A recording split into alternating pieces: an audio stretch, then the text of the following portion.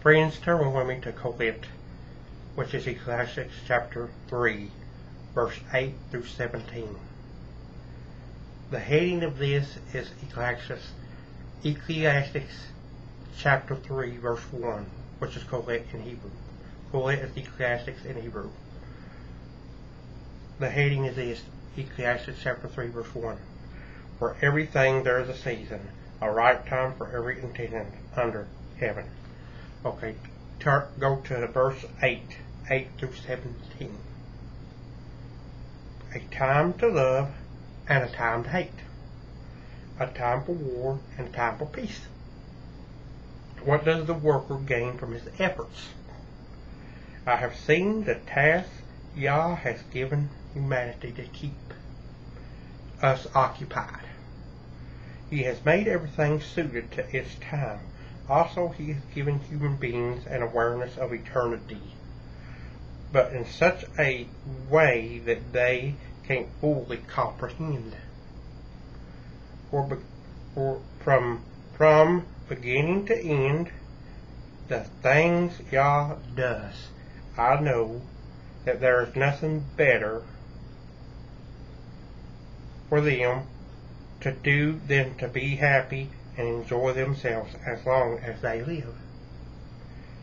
Still, the fact, still the fact that everyone can eat and drink and enjoy the good that results from all his work is a gift from Yah. I know that whatever Yah does will last forever. There is nothing to add or subtract from it and Yah has done it so that people will fear him.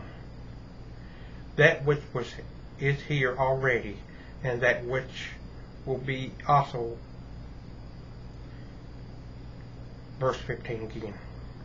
That which was is here already, and that which will be has already been.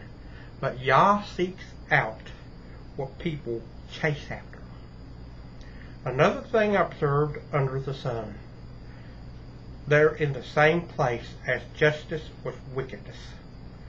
They're in the same place as righteousness with wickedness. I said to myself, the righteous and the wicked Yah will judge, because there is a right time for every intention and for every action.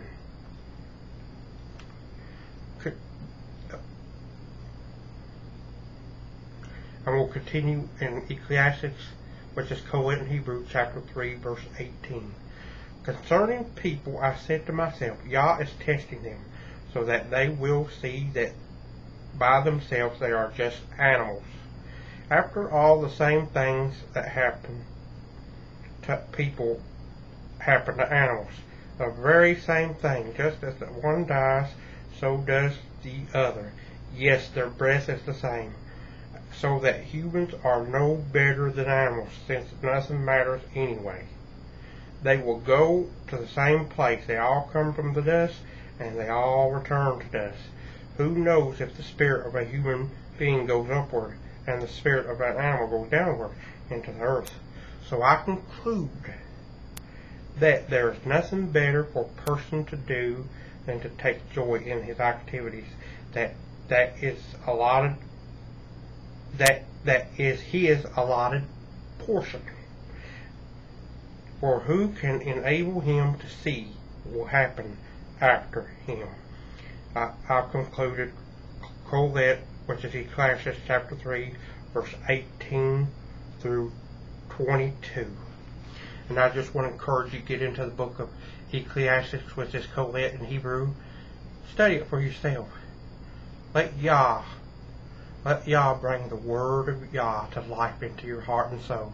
The word of Yah is living. The word of Yah. Turn to Psalms 1, and we'll conclude with this for today. Psalms 1.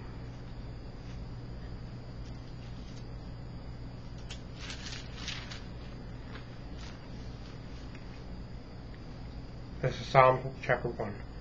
How blessed are those who reject the advice of the wicked. Don't stand on the way of sinners, or sit where scoffers sit. Their delight is in Yah's Torah. On his Torah they meditate day and night. They are like trees planted by streams. They bear their fruit in season. Their leaves never wither. Everything they do succeeds. Not so the wicked, who are like chaff driven by the wind. For this reason the wicked will stand up to, to the judgment, nor will sinners. At the gathering of the righteous, for Yahuwah watches over the way of the righteous, but the way of the wicked is doomed. Yah bless you today. In Yahshua's first name. Amen.